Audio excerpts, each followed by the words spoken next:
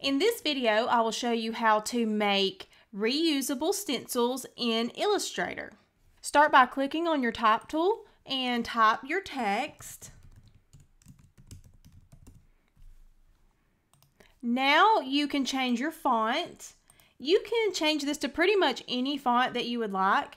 If you have a stencil font, you will notice it will already have the cutouts for the stencil, so you won't have to do any additional work to it. But stencil fonts can be very limited in the look of the font. So if you have something particular in mind, you can pick any font and we can turn it into a stencil font. So I'm picking this Monday Bunday font. And I am going to right click and create outlines. And then I'm going to right click again and select ungroup. And now you can adjust your letters. Once you have your words looking like you want them to, select everything and go to Object and Compound Path and select Make.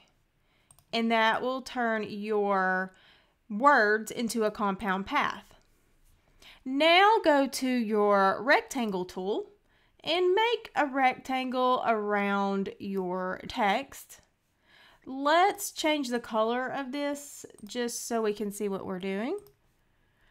Now right click and go to arrange and send to back.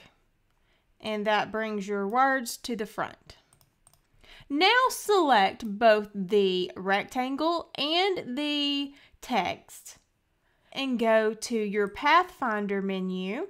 If you do not see this box, go to Window and make sure Pathfinder is check marked. And when you click on that, it will open this box for you. So then select minus front and that will cut out your word and make it a stencil. Now the only problem with this is if you are making a reusable stencil, when you cut this out, this center part of the A and the center part of the E is going to be a separate piece.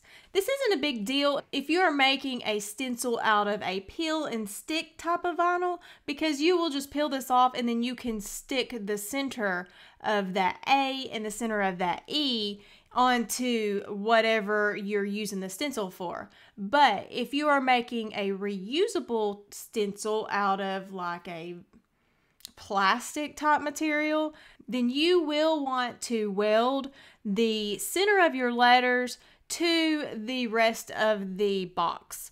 So to do that, just go to the rectangle tool and make a, just a small rectangle.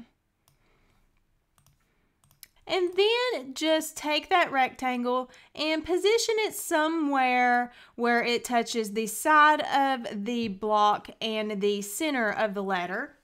And now let's duplicate this. You can right click and select copy and then right click again and select paste and then grab that rectangle and let's position it somewhere over the outline of the E.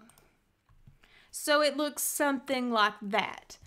And then select everything and go back to your Pathfinder menu and select Unite. And now you have a stencil that you can cut out and your center pieces will be attached to this, making it just one solid piece. Now, when you do your project, you will have to go back in and fill this little space, but that's much easier than trying to fill in the inside of a letter. And that is just a quick way that you can make reusable stencils and non-reusable stencils using Illustrator.